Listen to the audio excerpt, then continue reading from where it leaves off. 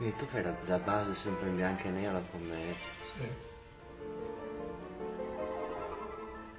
Vuoi parlarne un attimo della tecnica?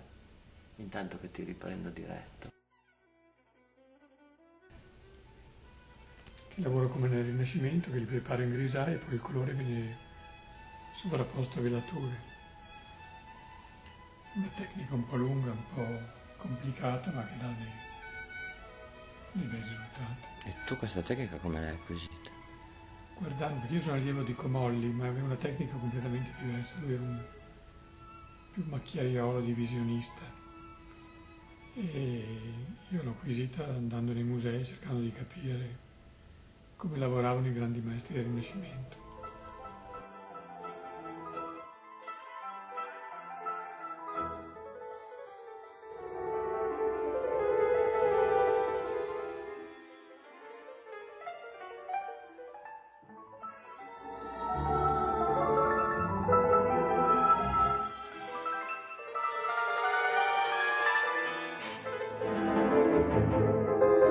Fa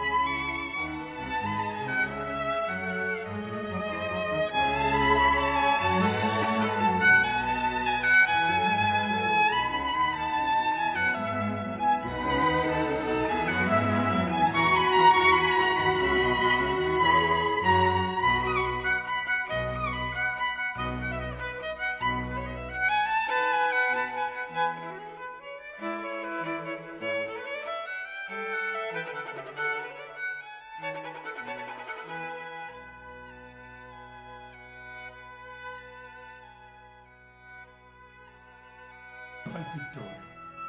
E non ha il piacere di... No, ma aspetta, non è, non è pittore. Eh, quella è, arte figurativa, non so mettere come vuoi. Beh, un'installazione non è...